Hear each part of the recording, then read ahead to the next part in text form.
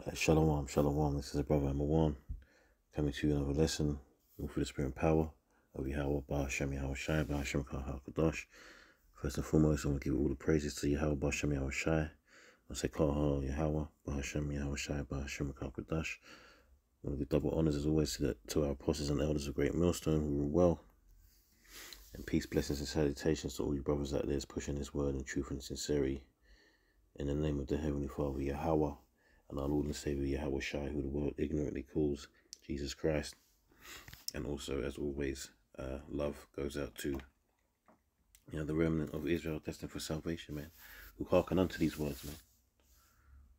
So it's going to be a quick hit. And this is on RT, man. It says ex-Russian space bus questions U.S. moon landing. So you see, the beauty of what's happening in the world now is that Esau's being exposed, man or Edom, let's say Edom is being exposed for just all the bullshit that they pulled, man, all the lies that they've told, all the wickedness wickedness that they've done is uh is out there. You know, it's out there for all to see. You know, the the the, the questioning of things is um so apparent right now. You know, people don't believe, or people are less likely to believe in Esau or Edom anymore. It says the former head of the Russians of Russia's Rosco, Roscosmos space agency, Dmitry Rogozin, has expressed doubt that the US Apollo 11 mission really landed on the moon in 1969, saying he has yet to see conclusive proof. And of course, uh, watching it on TV in black and white is not proof of anything. Just because you saw the rocket go into the atmosphere, all right, that means nothing. When it comes to um, deception, Esau Edom is the, are the masters of that, all right? And it's all to gain power. It's a power that was a power move you know, to show the, to try and show the nations that they are the greatest nation on the earth, that they can actually go outside. If anyone can go outside of the atmosphere and go to the stars and, and land on another planet, it's Babylon. It's you know, it's AKA America. It's either you know the the the foundation, you know, the headquarters of, Esau Edom, man. It says in a post on his Telegram channel on Sunday, Rogozin asks, uh, Rogozin said he began his personal quest for the truth about 10 years ago when he was still working in the Russian government and that he grew skeptical about whether the Americans had actually set foot on the moon when he compared how exhausted Soviet cosmonauts looked upon returning from their flights and how seemingly unaffected the Apollo 11 crew was by contrast. Rogozin said he sent requests for evidence to uh, Roscosmos at the time, all he received in response was a book featuring Soviet cosmonaut Alexei, Alexei Leonov's account of how he talked to the American astronauts and how they told him they had been on the moon. So it's all hearsay, it's all talk, it's all word of mouth and, and, and sketchy videos in black and white. it says the former official wrote that he continued with his efforts when he was appointed head, head of Rosco, Roscosmos in 2018. However, according to Rogozin, no evidence was presented to him. Instead, several unnamed academics angrily criticized him for undermining the sacred cooperation with NASA, he claimed. And you know, NASA is heavily steeped in witchcraft, man. All right? Heavily. If you look at um the stitching, the badges that they stitch on the onto their um their their gear, you know, their space suits, whatever you want to call them. They uh they have all sorts of things on them that that are esoteric, man, to the untrained eye. You know, even some of them even have wizards on on um on their badges, man, because it's all witchcraft, man. It's all witchcraft, lies, divination on a screen to fool you into believing that what you saw was real. That you saw, if you was alive in 69, old enough to understand what was supposedly going on, that you saw these men go into space, and then land on the moon. All right. So, yeah, that's why they call it sacred, man, because they're they're they're they're they're on the left hand side, man, and they're dealing with these demons, these these wicked spirits on the left hand side that are under the control of the Most High, and you know they're they're, they're in league with Satan, man. So it's all sacred to them, man. It says um the former Roscosmos chief also said he had received an angry phone call from a top ranking official who supposedly accused him of complicating international relations. So and that's just like that's um what you call it? That's spinning it, man. They're just trying to spin it. Instead of answering the question, they want to accuse the man, you know, who's simply seeking the truth. Anytime you're seeking the truth and people are trying to get angry about it, you know, and you they're trying to bring you down about it, that's when you know you're onto something, man.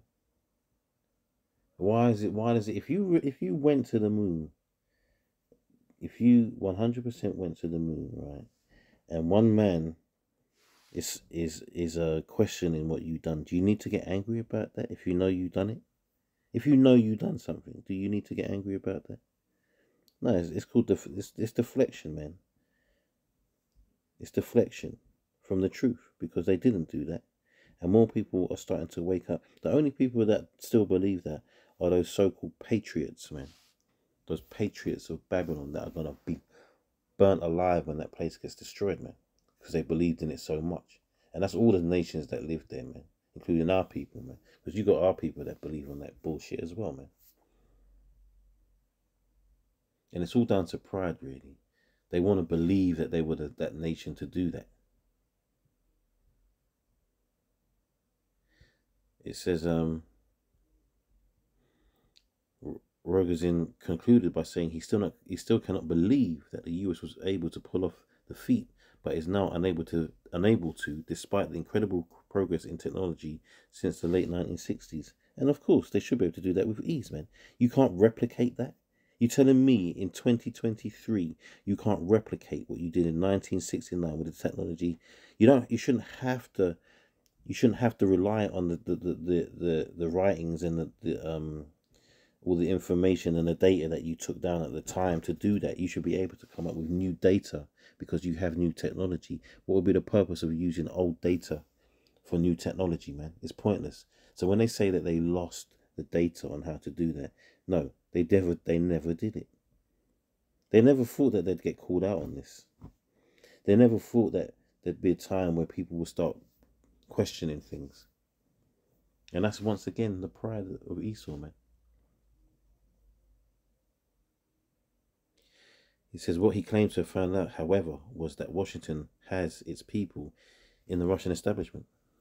Apollo 11 was the first manned mission to the moon, with Neil Armstrong and Buzz Aldrin going down in history as the first humans to walk on the lunar surface. The flight was preceded by the unmanned Soviet Luna 2 program, which blazed the trail for moon exploration. Last April, President Vladimir Putin pledged to resume Russia's lunar program. And the same guys that are mentioned there, I'm not sure about Armstrong, but Buzz Aldrin has definitely now ref- admit openly said that they never went to the moon. They never did it, man. And where you know people are claiming that you know he doesn't know what he's saying or he's just talking to talk. Listen, man, that's an old man that has lived decades now. Right? How many years is that now? 69. 69. So what's that? 54 years. 54 years living with a lie. No matter who you are, unless you're the wickedest man on earth, man, that's going to get to you, you know. So end up, you're going to end up wanting to tell the truth to someone. There's always going to be someone you want to tell the truth to. Anyway, let me just get a couple of scriptures, man. Nothing um, I'm gonna go too deep on that, man. It's just nice that they're being exposed, man. Um,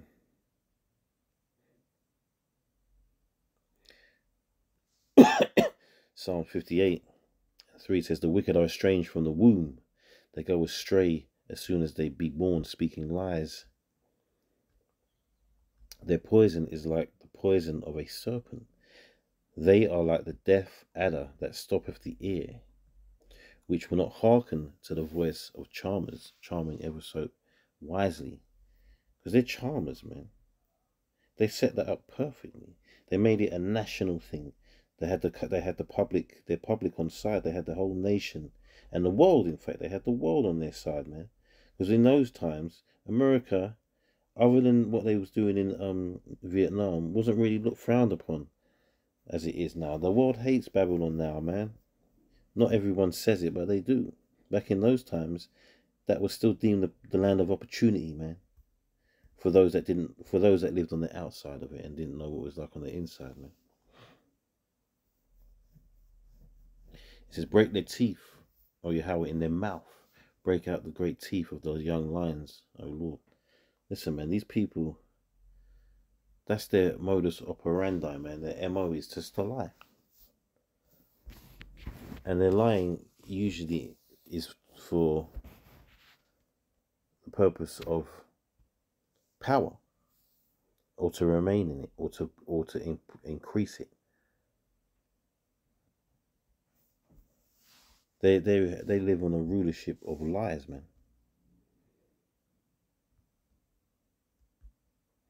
Uh, proverbs 29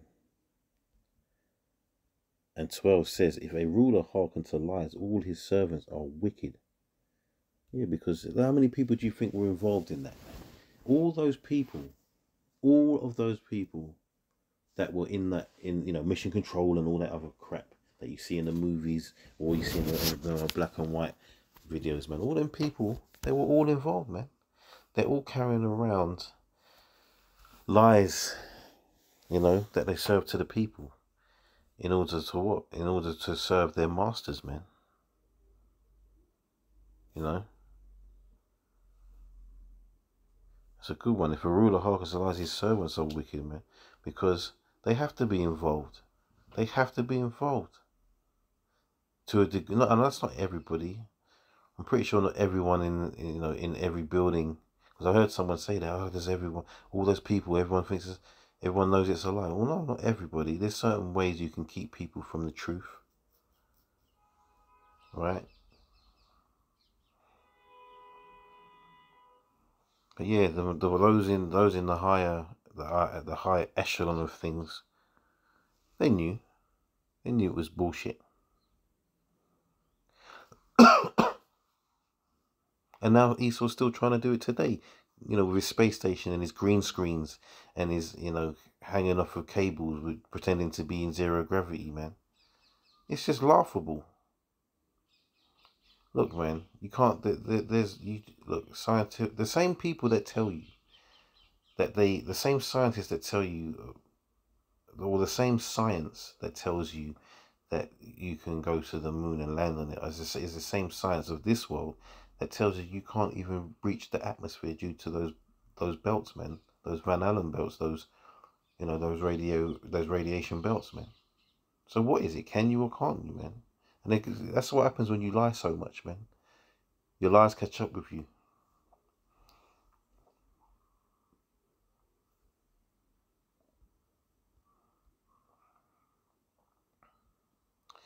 Jeremiah 49 and 10 it says, But I have made Esau bare. I have uncovered his secret places, and he shall not be able to hide himself. His seed is spoiled, and his brethren and his neighbors, and he is not. And yes, the Lord is making Esau bare. That is what's really happening here. Right? His secret places, his, his lies, man. And this goes down to not just, you know, obviously not just down to whether or not they went to the moon. There's, there's so many lies that Esau's being exposed about now. You know, they think they're, they're so, they're getting so slack with what they're doing now that before they've even done things, people know they what what they're about to do, just by the way, just by um, experience in the way that you know these these government officials and that's the way they speak about things. You know when they're plotting this scheme. Look what did they they they told you basically they were going to destroy that Nord Stream pipeline, man. And what happened? It got destroyed. Everybody knows it's them. You know, they so they're just getting loose with themselves now, man. Because it's what? It's the, it's the end. It's the end for them, man. It's their see their their world is coming to an end, man.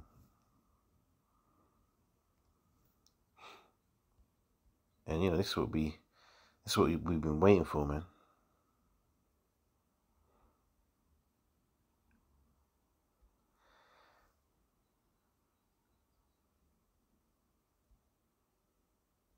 Right, Mark 3 and 22, it says, And the scribes which came down from Jerusalem said, He have Beelzebub, and by the prince of devils casteth he out devils. And he called unto him and said unto them in parables, How can Satan cast out Satan? And if a kingdom be divided against itself, that kingdom cannot stand. Because let's not get it twisted here. All right, we because uh, a lot of there's a lot of jakes in the world talking about how great Putin is, man you know, because he's doing this to America and he's going to Africa, rare. Listen, at the end of the day, he's an Edomite, man. All right? They're all Edomites. They're all devils. They're all the wicked. So let's not let's not act like Putin's the hero. Yeah, he's going to be good because you know we like him because he's going to destroy America, man, along with other nations. But ultimately, he's an Edomite, man, and he's going into captivity, man. So it says, and if a kingdom be divided against itself, that kingdom cannot stand. Because they're just tearing each other apart, man. They're tearing each other down. It says, and if a house be divided against itself, that house cannot stand. And if Satan rise up against himself and be divided, he cannot stand but hath an end.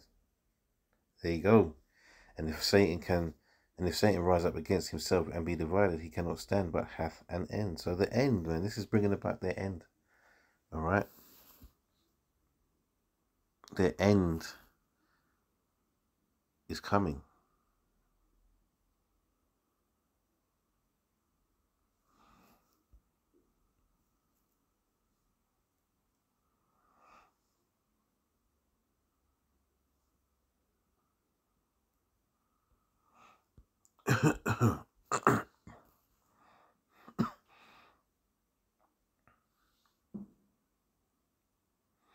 Isaiah 47 and one says, Come down and sit in the dust, O virgin daughter of Babylon.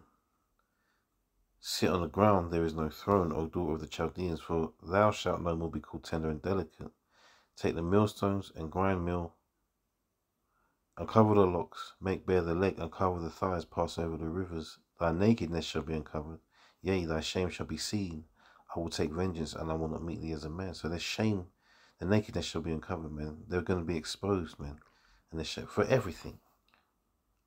Because from what they've done to us, what they've done across around the world to all the other nations and going into countries and doing what they've been doing, what they've been pushing and as in agendas, the wickedness that they've been trying to push out there, you know, the lies that they've told to try and put themselves in the position, all these things that amount up to all the shame that's going to be uncovered, they're going to be shown up to be nothing because they are nothing.